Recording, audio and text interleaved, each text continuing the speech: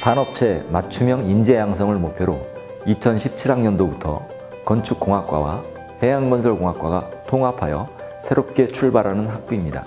프라임 사업을 통해 세계적인 추세로 부각되고 있는 첨단 부유식 건축물과 워터프런트 개발 등과 관련한 교육 프로그램을 운영하고 있습니다. 건축 분야와 해양건설 분야로 나눌 수 있는데 우선 건축 분야에는 건축 계획 및 설계, 건축 시공, 건축 구조, 건축 설비 및 환경 분야로 나눌 수 있습니다. 해양 건설 분야는 해양 물리 및 해안공학, 지반공학, 지질 및 탐사, 구조 분야가 있습니다.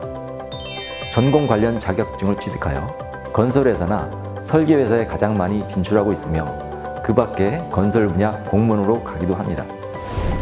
해양건설과 건축이 만나면 육지와 바다의 건설을 통합하게 됩니다.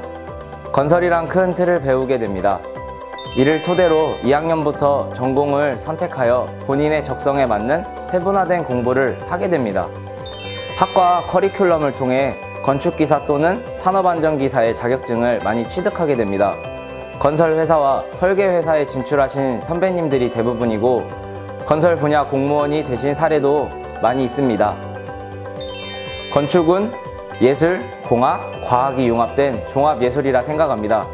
때론 전 생애 주기에 거쳐 건축을 하기도 합니다. 건축에 꿈이 있고 열정이 가득하신 수험생 여러분, 우리 학부는 여러분의 열정을 채워줄 수 있는 곳이 될 겁니다. 수험생 여러분, 파이팅! 미래 산업으로 기대되는 첨단 건축물 분야와 해양 워터프론트 분야에 꿈을 가진 젊은이들이라면 군산대학교 건축해양건설융합공학부로 오십시오. 저희들이 여러분과 꿈을 현실로 만들어 가겠습니다.